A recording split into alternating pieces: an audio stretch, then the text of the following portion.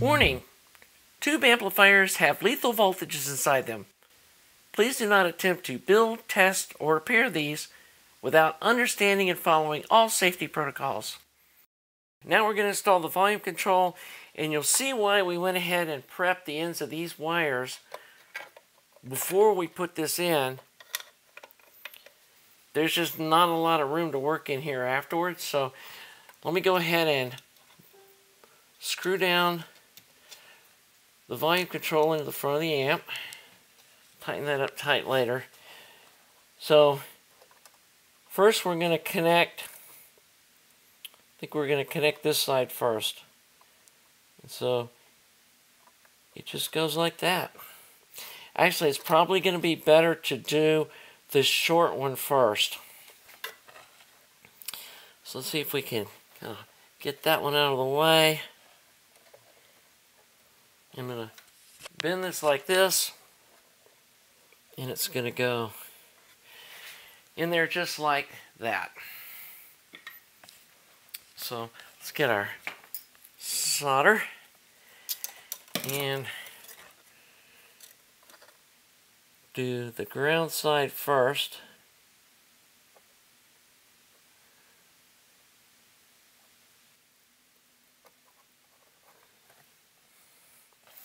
And what I'm probably going to have to do, like I showed you in another video, is stand this up on its end because gravity's fighting me here. But I've got it nailed down good enough. And then this side over here, I had already filled in the hole. So all I got to do is heat that up, put the wire through, and then take the heat off.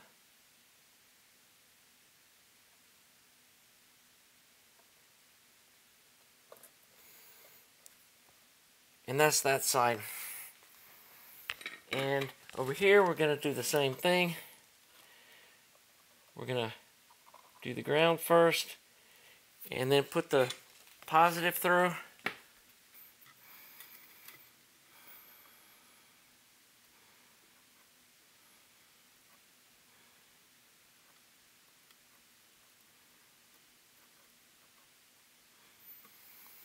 And this is another one of those places where the shorter the better.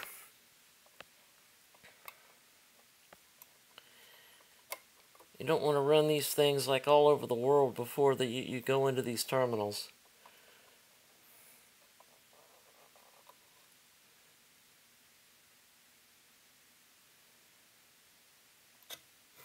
And there we go.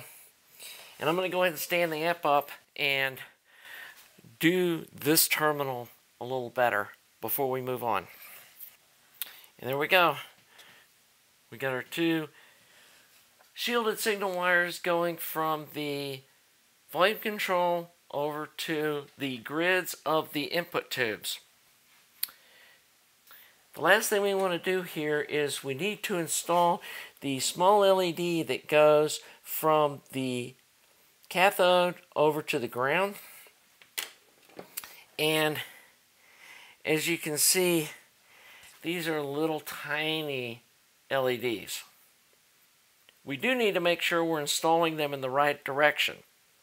And the easiest way to do that, and while these are marked, I always like to double check to make sure I'm installing them in the right direction. So go over to your resistance that has a diode checker too. Don't know where it is on your meter, but on this one, you cycle through this and you see the little diode signal. So you know you're checking a diode. And then I clip a couple leads on. It lights up and it shows you the voltage 1.58 which is right at where we want to see. So we know that this side is the negative. It's easy enough know, to know if you put them in backwards because they won't light up. If they light up, you know you put them up, you know you installed them in the right direction. So we're going to go ahead and solder these two little guys in.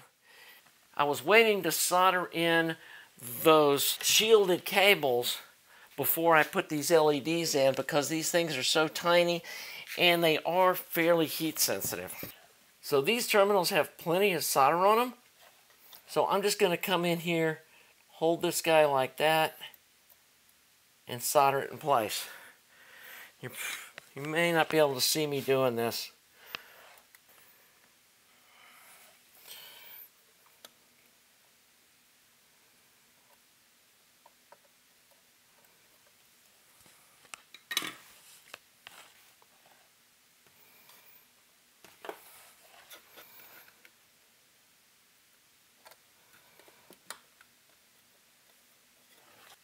And when you're done, it's going to look just like that. Let me zoom in here. And...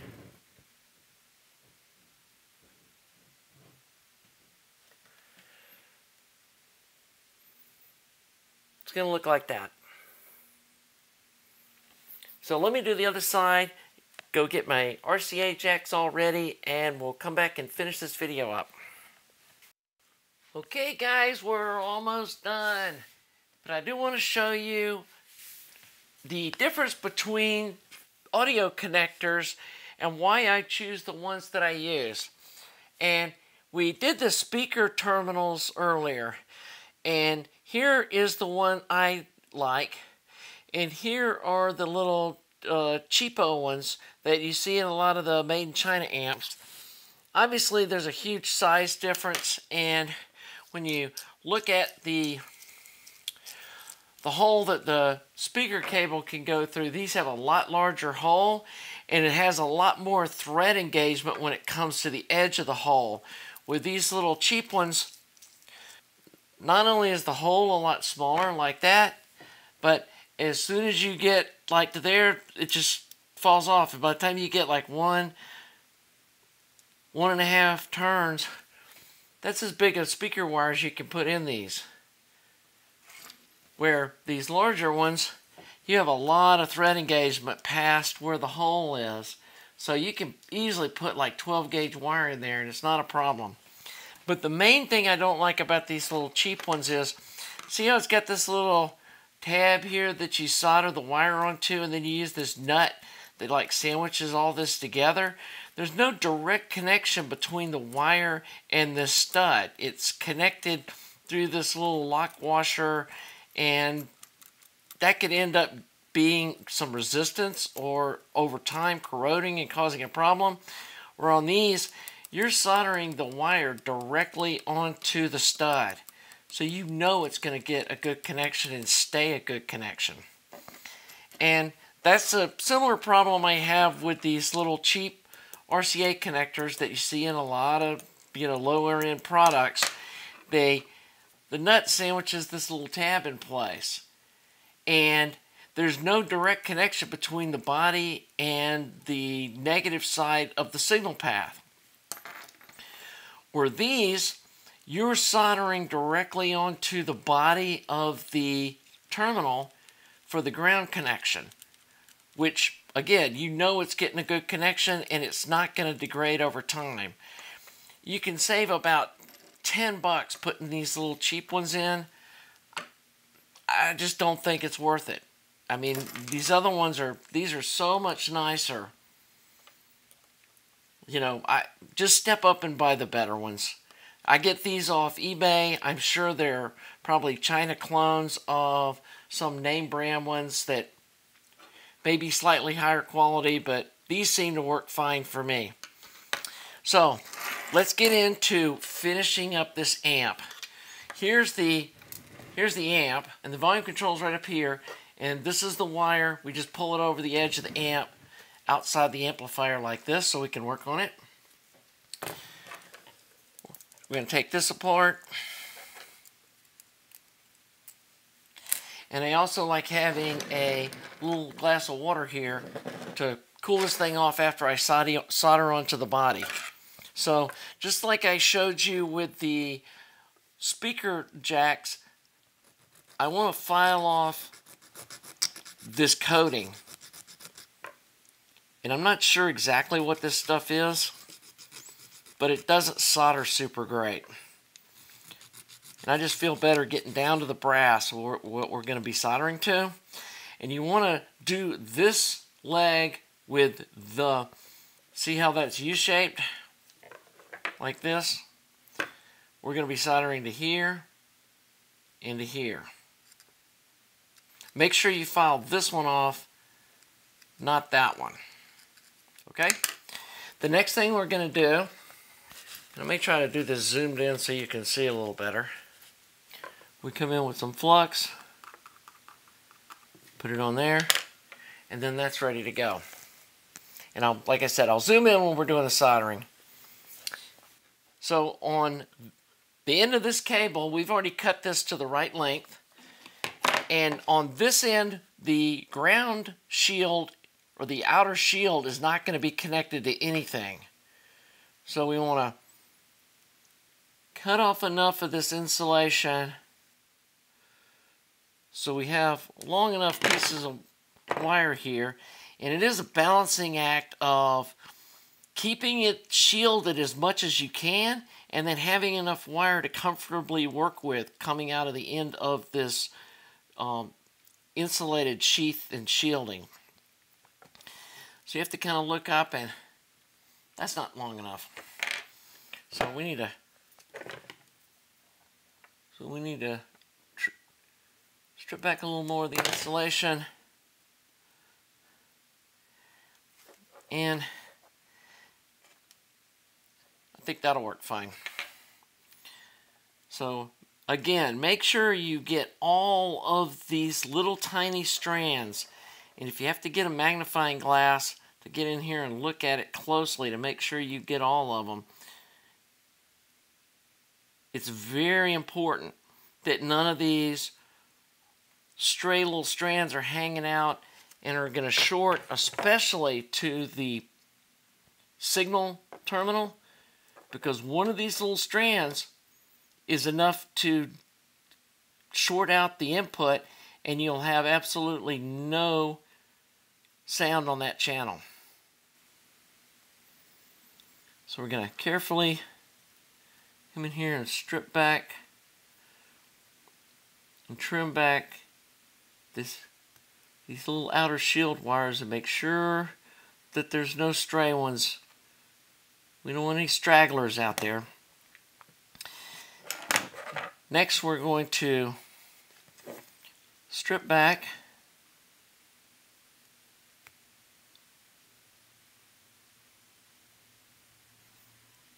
Guys, I'm excited. These are the last two wires that we have to connect.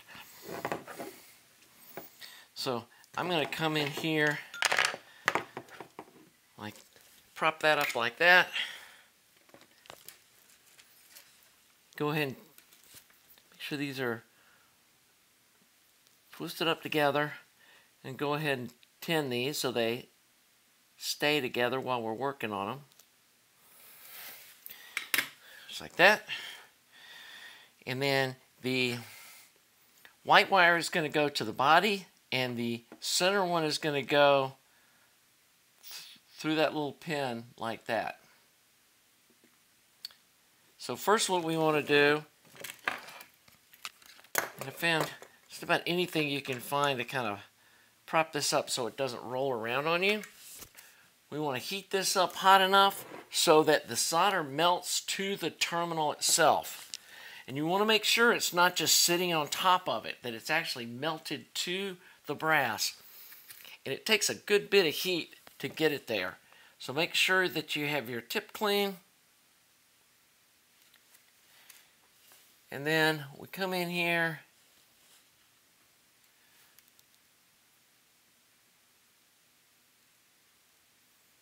and just be patient until you see the solder actually melting when it touches the metal. It's not there yet. You can see there's a lot of melted solder. There we go. Now it's hot enough to melt to there. Then we come in with our ground wire.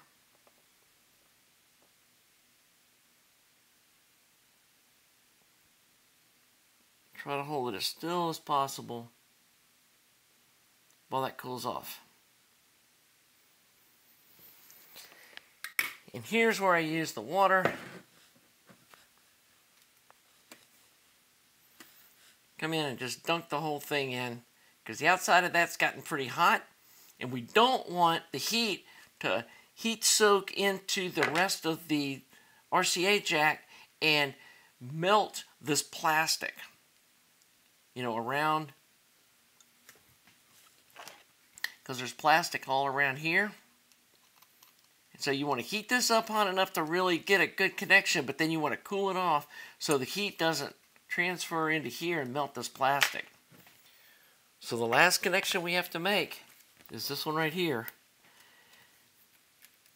And again, heat this up.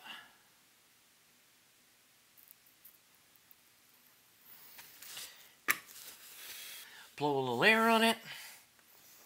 And then dunk it in the water.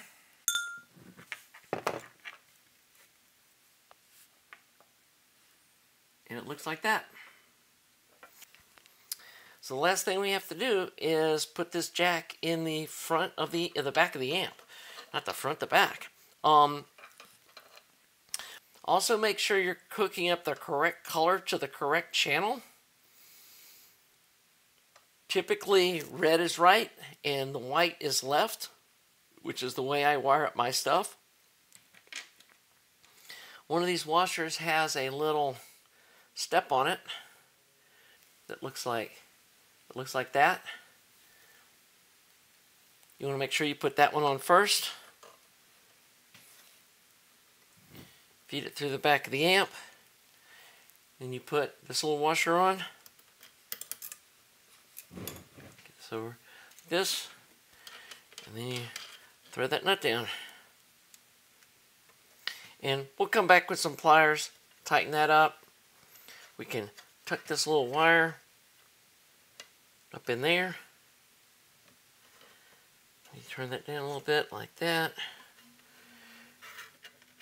And there we go. And I will probably come back and with some contact cement and tack these wires down up here in this corner just to make sure they don't go anywhere. Again, get some pliers and tighten this nut up. But guys, we're done. That's it. All finished. One last thing I want to show you. Okay, I want to show you what these two LEDs look like when they're done. They're soldered across like this. And one of the things, I did solder this one in backwards. This mark goes to the negative. So when you're done soldering these LEDs in, make sure you put the negative of your voltmeter on this pin, put the positive on this one, and then turn it on to diode and make sure the LED lights up. And check both of them. You want to make sure that these are wired in right because if they're not, the amp won't work and you'll be going, hey, what's going on? There's no cathode voltage. There's not going to be any if you wire those guys in backwards. The other thing I'll do is I'll come in here with a little black paint after I'm done and put a little black paint over them so that they're not as bright. You don't see that glow coming out from under the amp. And I still have to put the bottom cover on and do a little fab work on that, but we're done, guys. We're ready to put the volume knob on it and fire this thing up and do some voltage testing and get ready to listen to this. So I really hope you're enjoying the series. This video may be a little longer than some of them, but I wanted to just get this last part done in one video. If you are loving the channel, please subscribe. Please go to the website. There's a donation page. If you feel so inclined, I would really appreciate any donations you send so I can buy more gear and products and stuff to play with. Anyway, we are gonna wrap this thing up at the next video with voltage testing and then put it on the scope and check out what we get out of this little amp. So until then, have a nice day.